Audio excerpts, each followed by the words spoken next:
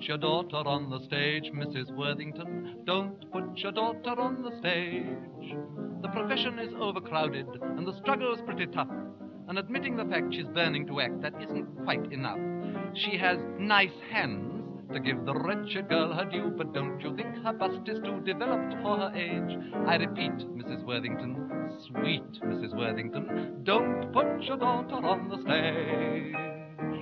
Regarding yours, dear Mrs. Worthington, of Wednesday the 23rd, although your baby may be keen on a stage career, how can I make it clear this is not a good idea for her to hope, dear Mrs. Worthington, is on the face of it absurd.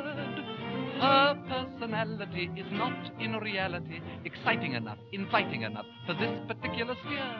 Don't put your daughter on the stage, Mrs. Worthington. Don't put your daughter on the stage. She's a bit of an ugly duckling, you must honestly confess, and the width of her seat would surely defeat her chances of success.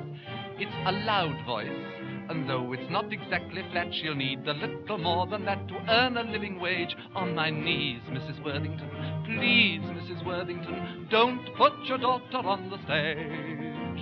Don't put your daughter on the stage, Mrs. Worthington. Don't put your daughter on the stage. Though they said at the School of Acting she was lovely as Peer Gynt, I'm afraid on the whole an ingenue role would emphasize her squint. She's a big girl, and though her teeth are fairly good, she's not the type I ever would be eager to engage. No more buts, Mrs. Worthington. Nuts, Mrs. Worthington. Don't put your daughter on the stage.